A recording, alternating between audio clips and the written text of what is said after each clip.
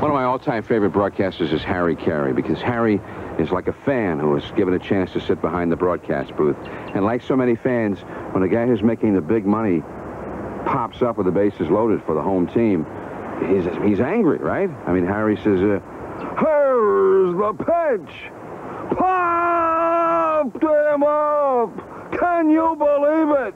Andre Dawson, three million a year, and he pops up. Cow!